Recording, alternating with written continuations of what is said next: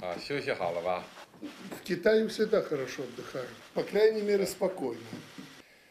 非常高兴啊，能够见到老朋友。我们今年的二月，啊至三月，已成功的对中国进行了国事访问，我们就推动中白关系高水平发展达成了重要共识。一年来呢，两国的政治互信是更加巩固了，国际协作也更加的紧密了。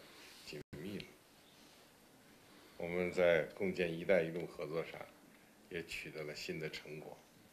当前的国际形势变乱交织，风险挑战是层出不穷，很多意想不到的事情啊，总会突然发生。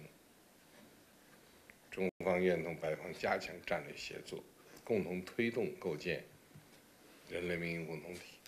Я сегодня рад с вами в дружеской обстановке обсудить Актуальные вопросы сотрудничества. И как это всегда было между нами, высказать свою точку зрения на те или иные проблемы международных отношений. Все это было на моих глазах в течение последних 30 лет и даже больше. Мир будет за это благодарен Великому Китаю.